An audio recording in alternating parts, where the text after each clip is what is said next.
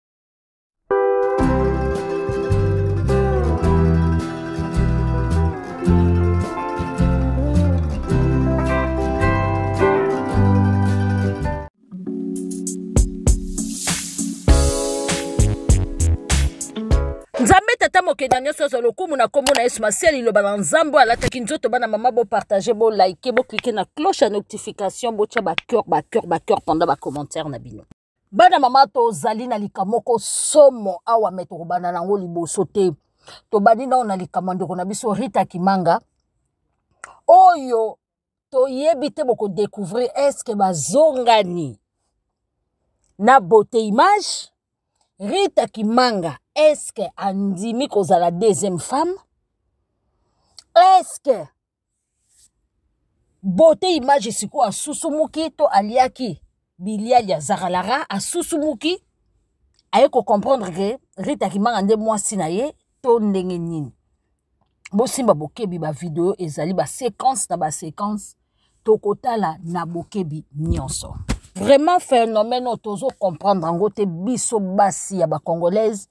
okozala na mobali na yo ta mosusu oyo abala papa bana bokoboyana na bino facilement mais soki eza kaka motu moko oyo yo olokoti ya deuxième mai ekomeli yo nde problème okomi okrake ye ondire ye nde moto azalaki ebandeli ya vie na yo kanda nini basi ya batamangala bayokaka ezalaka nini badepense oyo asalelaki mobali ya seconde mai ou bien ndenge nini ou bien bolingo elekaa makasi tokomona rita kimanga awa bajeton na bajeton est ce que eza propre est ce que azotala bana na ye nde bakola est ce que koperdre mobali ya mwana moke bongo ya kindendi eza okoki ozwi délivrance mobali oyo aniokolo abeta komutakala na miso ya bana akutu mobali moko obeta ye kara na vi na yo mpo azalaki erreur ya vi na yo toyoka rita kimanga bibebe na bino bana mibali ya banzoto mike bobangisa ngai na butu kolanda mobali ya nzoto mike eza lokola moto nalali na kati ya kiti kwala nakoyoka miponzi na ngai mpasi nalinga miponzi na ngai bana mama jeton sur jeton mbwakela sur mbwakela eh? nayebi te ndenge bato mosusu baoloba eske ndeko ndenge azosala boye motu eza malamu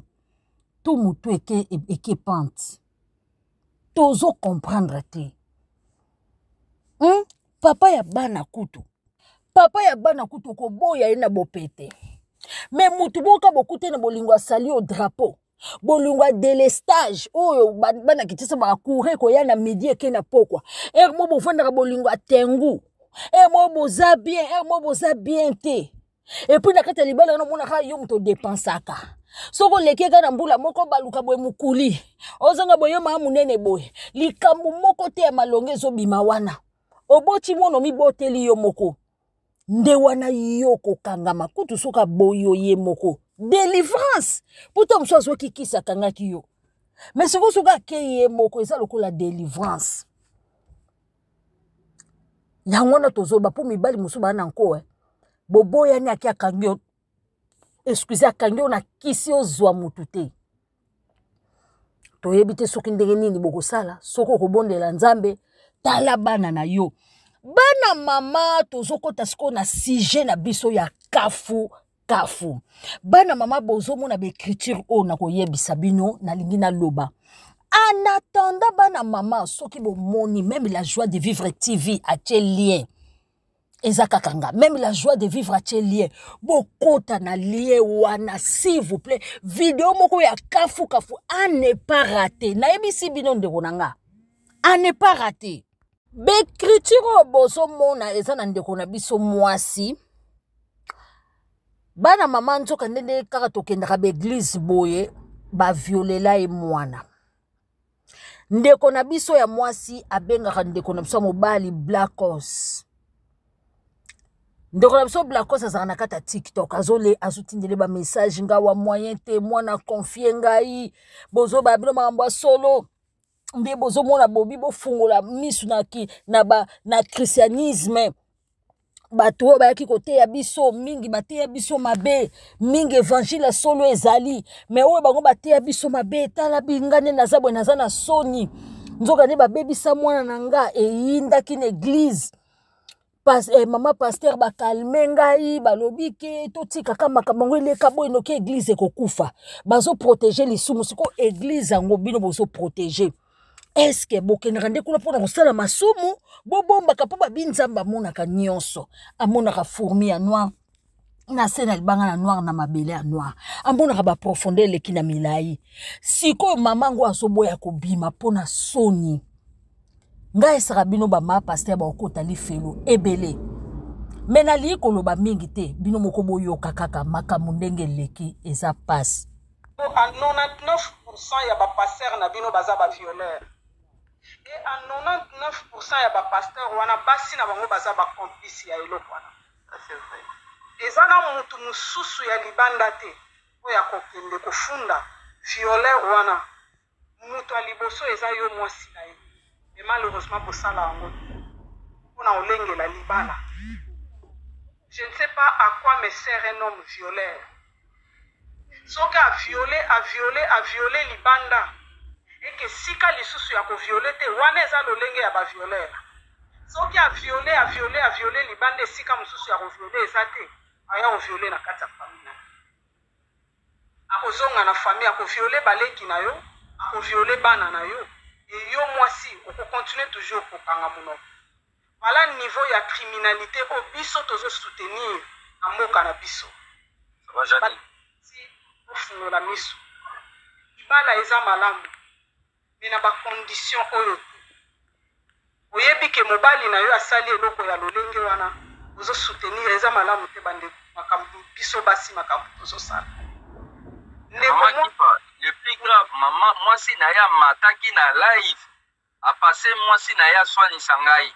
Mais tango nayebisi kaka mwasi naye que oza ko participer na escroquerie ya mobali na yo, la femme en question akangi munoko atikala lisusu koloba ata mot moko te. Wana mama pasteur. Mwasi wana atikali lisusu koloba likambo te tango nayebisi ye que tu fais partie ya mafia ya mobali na yo que aza escroc pe oyebi yango bien que makambo azoloba eza lokuta parce que au grand jamais natikala kosala live na mwasi wana que tosalela ndeko pasteur wana Ben live na kati ya tiktok na sala ya ngote parce que yo yebi ba live na nga nyoso 80% ba live o participaka Non, moi la maman, euh, le problème c'est quoi Le problème c'est que déjà en général, na ba makambo ya ba binzambi nzambi to na makambo ya christianisme eza na eloko moko to comprendre que eza na baye bazosala yango en connaissance des choses Malheureusement eza na ba oyo baza ba victimes ça veut dire que ba ignorants oyo bazo comprendre eloko te ndenge biso nionso tozalaki na sima ya biloko wana na ba cas ya boye malheureusement eza na mwa pourcentage moko ya basi muke oyo bakanga na bango minoko po ayebi na eloko te ye na mutu na ye motuya eza kaka libala et consort mais Na 99 pourcent ya basi ya ba pasteurs wana ba yebi ba crimes mibali na bango ba commetaka papa. Ba yebi ba crimes oyo mibali na bango ba commetaka mais ba soutenaka yango. Nga na za kaka na mwa bosenga na biso ba maman en general tozo contribuer na ko detruire societe na biso. Mwana wana oyo pasteur wana asali bongo ndenge ndeko Shando alobi tozo tala lelo te mais to tala avenir ya mwana wana lobi. Soki mwana wana lobi akomi bibina bina na tiktok toyebi te a subisaki nini na bomwana na ye tokomi ya tala femme congolaise ndenge azalaka mwana wana lobi akozala na ba comportement ko afficher ba comportement pardon ba comportement pardon ya mabe vis à vis ya bana mibali ekozala a tala ba femme congolaise bazalaka kaka boye mwana wana victime dejà ya viol Ezalaka pasi po biloko wana elongwa na mutu na ye. Ba souvenirs ya mabe wana etikalaka reste ya vie na ye mobimba. Mutu na mutu maintenant aza na lolenge ya ko presenter yango na societe d'où omona lobi mwana wana aza kanda kanda vis à vis ya bana mibali, tokomona lobi mwana wana aza tango mosusu kokata mibali mutu, ba biloko ya lolenge wana bozo comprendre te nzoka eza influence ya makambo oyo. Ba ndeko basi surtout basi ya ba pasteurs Surtout basi ya ba pasteur ya ba biloko na bino ya ba eglise toza na million ya ba temoignage moko na moko na biso ndenge tovandi awa il est temps ya ko denose biloko oyo il est temps ya ko telemela ba criminel ya mibali na bino bazo baza vraiment ko detruire societe na biso bofungola ba mpanga bo denosaka biloko oyo Bino ba mama pe oyo ke mwana no akutani na likambo ya boye ndeko na nga ya mwasi oza na posa ya ke senga conseil epa ya mutu te po toza na societe oyo d'abord victime ya viol ye nde akomi responsable ya acte pose oh non parce que alataki ba mini mobali ya solo ata na lateli ye ba mini liboso na ye akokitisa elamba na ye te parce que nga na lati mini. Non, botika ko ko ko comprendre mabe. Mobali ya solo ata mwasi a tenter ye ndenge nini, akotikala jamais ko se mindele barespecta ngondo na bango basi na bango batambola mitakala na bapisine ere nyonso bakatikati bilamba bete ndenge ezoya boye tomona na mondele moko tabimiselo na nzela alanda mwasi aviole ye te il faut discipline te parce que mwasi a tenter ye nionso wana eza ba excuse inutile alors pona to sauver societe na biso bandeko basi bofunga bango bazalaka bolata malamu toboyi te fo balata malamu bongo ba- ba- mama na biso bazo- bazoviole bango na bagoma kuna mama alati liputa te alati bubu me baviole ye quand même oh kolaka minoko na bino ntango mibali na bino bazokometre bacrime ya lolengo akokende osenga conseil epai ya motu te kende mbala moko na justice oya komata na balive te mama ya bongo akende ne bostra te ke nzambe akosala bamama banzambe akosala nyonso atikela nzambe banda mpe atikela ye ti lelo anuni esimbaka te pourkui parceke nzambe alingi nde yo oagire Depot na live juge aza te na cadre ya ko senga conseil oui mais tangu o remarque que eza na mobali moko songolo mpakala azo viole mwana na yo azo ko detruire avenir ya mwana na yo lobi kende mbala moko na justice ko luka ye aye na justice te aye nde youtube aye nde tiktok bango mpo na koya kofunda na tikitoki wi justice akokende te yo ebino mwasi ya congolaise te eh, obie mwasi kaka moto ya mangala eh. aza ndenge justice akokende te place bakozwele solution ye akoya kaka na tikitoki ye malamu asambwisa motu ke akende kofunda na justice place oyo akosala lokola defendre mwana na ye aoke kuna te ye aoke kuna kosani he oyebi bango te conseil te mpo société na biso bakoyebisa etika eh, kaka etika eh, kaka eh, soki osali libala libala eza mpasi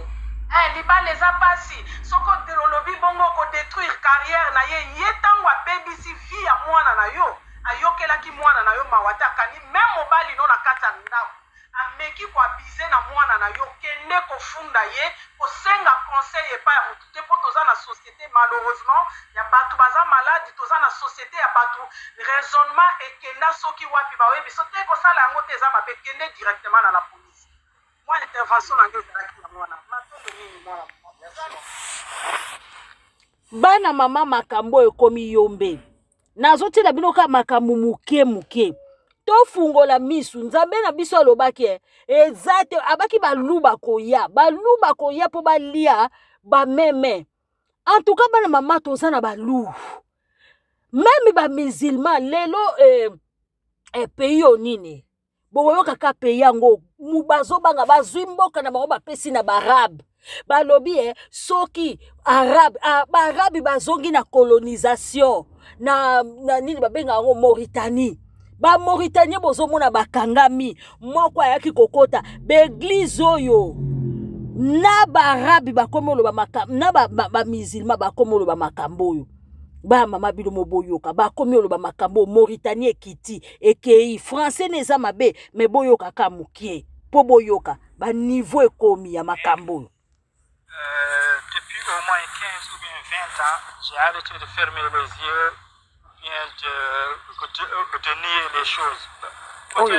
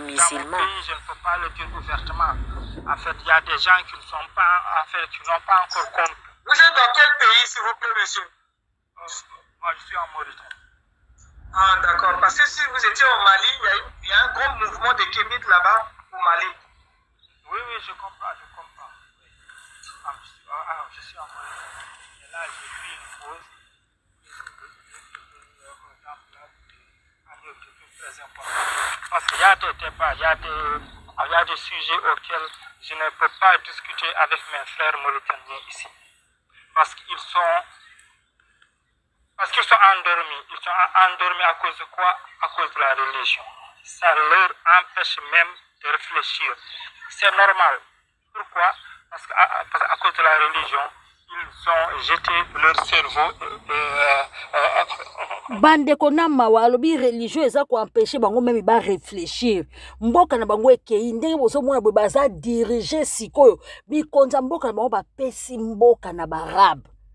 tokoyoka yango mobimba na yango mobimba me toyoka kaka moke nayebi ke français na bango eza difficile boyoka kaka na osise na bino yango nsima parce que à, à, à cause de la religion ils ont jeté leur cerveau euh, euh, euh, quelque part là et ils ont jeté leur cœur. Ils ne réfléchissent même plus. Est-ce que vous comprenez Oui. Dans ce contexte-là, dans ce contexte-là, je voulais répondre surtout à faire celui qui était monté ici là, bienvenu. a, il a dit ici des choses qu'il pense, mais je pense, moi, aussi, que c'est des sottises. Il n'a rien compris. L'Afrique, euh, l'homme noir est en guerre silencieuse. Et, oh, oh, puis l'homme noir est la victime de tous les secteurs possibles,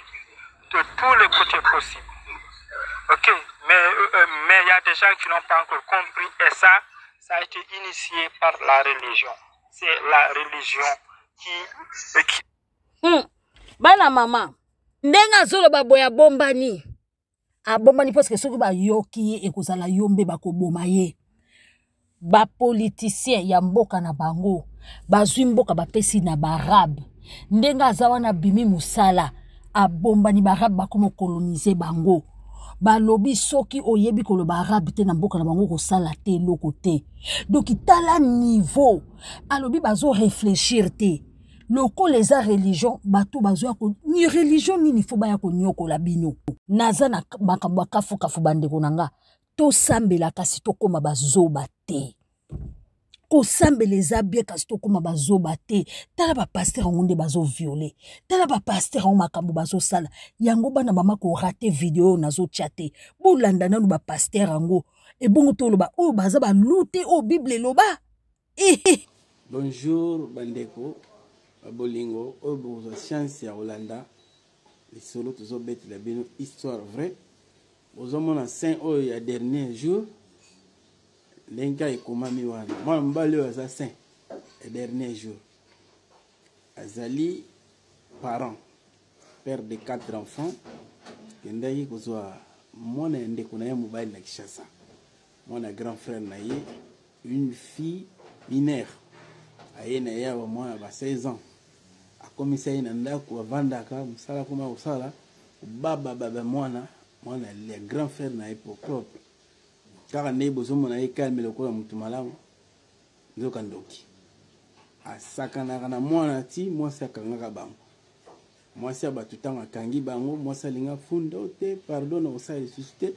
mwasi amoni kaka kopanza fami ya bato ndeti atika atika te nde mokolo moko auti koleka awa mwasi akendaki kolala mwa matanga nde basikaka ezalaka likambo ale kamata mwana sasa mwana butu momimba ti ba 21 heure apemisi première rande deuxième kamata susu mwana sasa sasa sasa mwana alobi na ntango ake na klasi batala bassistance sociale mwana ba ventre pasi nsima na yango batala mwana boye a ah, mwana panzi nyonso papa leki mosalasala kosasanga butu nyonso bapemaka te batala mwana na nzoto mwana sabeba babengi mbila mbila tala boye mwana asi akoma mama mobimba donc mosantu oyo esi abebisa mwana ngai mwana grand frère na ye nde mwana alobi verité alobi aza mpe papa na ngai te babengisa ye ngai kobengisa ntango babengi na kisasa kuna mama na ye propre ya mwana ntango azwi information mama asali crise mama akufi nicole babengi ye papa oyo balobi bon yaka nanu mwa likambo eh, ndeti kaka ezalaka lokola mwa parent babengi yo na ekole ake kuna bakangi ye ndenge tozoloba boye kombo na ye dode aza na prison na lyon donc aza motu moko azo mérité plus de 15 ans de prison bamama tozalaka mayele yo okuti baza koviole mwana obombi secret mpo protéger mobali sikoyo l'état décide mama abimi mwasi mabe incapable bana 4 babotoli ye pauvre mwasi ake kobala na foyer yeyo mosantu ya saint ya badernier jour dernier jour na ye nakanisi ekozala sikoyo na boloko nakanisi makambo ya boye ezali mpasi mpe soni mwana mobali ya age oyo oyo okende koluka na yo bamakangu na nzela me mwana ya grand frère na ye propre ye atungolaka ye abebisi ye ndeko bino moko botala soki bokoloba nini na age ya moto ya boye babotoli bana atie mpe mwasi na mpasi ye wana ake kofana na lobwako le saint de dernier jour ezali mpasi